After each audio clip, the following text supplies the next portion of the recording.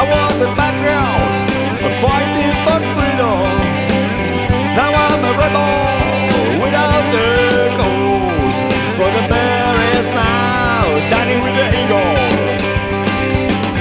They call the war enduring freedom, but terrorism is only a point of view, and I